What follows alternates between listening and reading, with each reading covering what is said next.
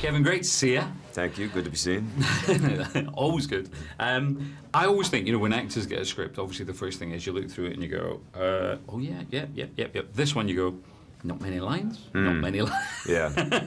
did you go yes or did you go, hmm? No, no, I loved it. You know, it's actually um, a really, really beautifully written script because even though there are no lines, what the writers somehow did in between the lines was really paint the picture of the way that they envision, envisioned the movie. We always talk about Olivier building the characters from the shoes, but with this guy, it's like the co-star, the mustache. yeah. yeah. Did you go, yeah, that's it? Yeah. Well, you know, I, I uh, people have asked me about that.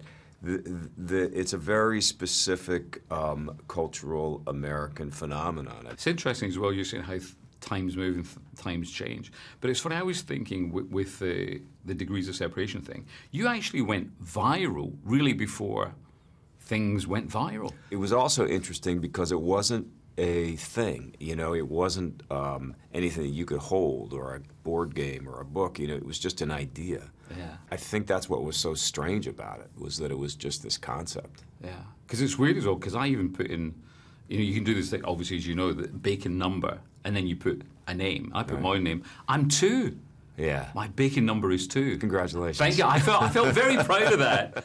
I've worked with people who are, you know, um, really super talented and that I admire and are famous. You know, I've, I've worked with Meryl Streep and Jack Nicholson, and, and I know that to be on the other end of it, you know, if somebody is like that kind of a, you know, kind of iconic person, Clint Eastwood, you know, you, you um, what you want from them as an actor is to say, hey, we're a team, let's go out and get this done. Well, it's great to see you. Congratulations on Cop Car. Bacon number two. I'm I'm thrilled. Yeah, there you go.